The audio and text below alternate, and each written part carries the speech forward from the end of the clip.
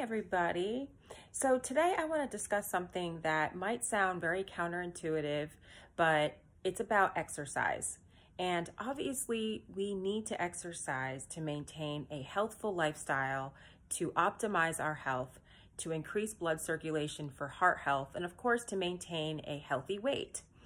But the problem is, not all exercise is the same.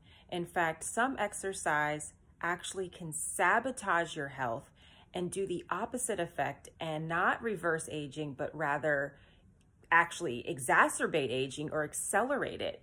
Because, for example, too much running, like too strenuous activities like running or I don't know. I'm not a fitness expert, so I'm not going to list every single type of exercise. But basically, any rigorous exercise that's done too long, too often can very can be very taxing on the joints and the whole body systemically. So we want to make sure that if we want to um, support healthy aging and maintain a healthful weight or a healthy weight and have really good skin, we want to make sure that we avoid strenuous exercise but stick with light to moderate exercise like low impact aerobics, brisk walking, Pilates, yoga, things like that, even dancing.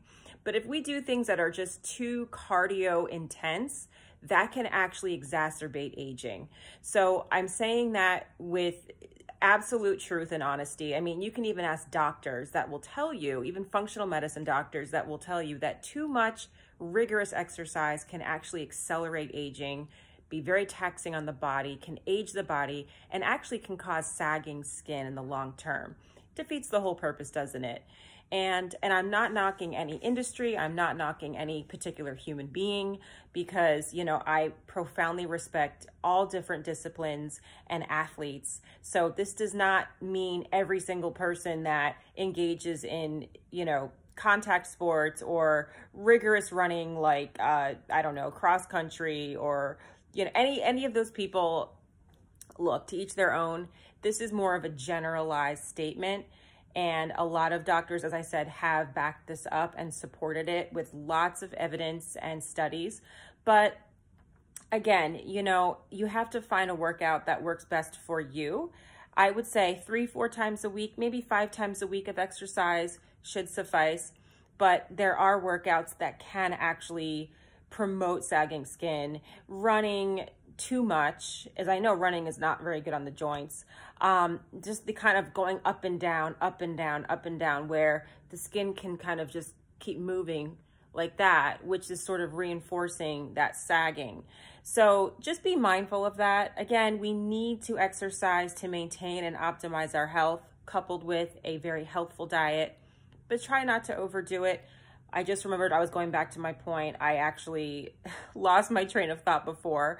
So, um, you know, I have noticed that certain like uh, candidates or people who do like the bikini competitions or bodybuilding, again, I'm not saying all of them, but some of the, the women in particular, even some men, they tend to look older and they tend to wrinkle faster.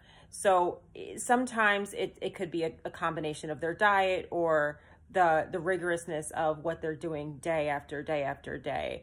It's sort of, you know, abusing the body to an extent and thereby abusing the skin.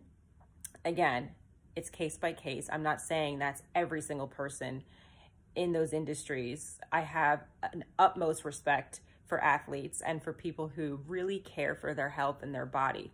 But what I'm saying is just be mindful that you're not doing anything to the point of compromising your beauty and your health and your skin.